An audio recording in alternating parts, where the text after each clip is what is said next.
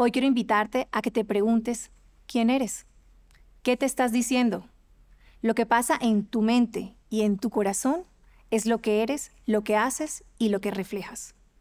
Tu valor no viene de afuera, está dentro de ti. Tú lo vales.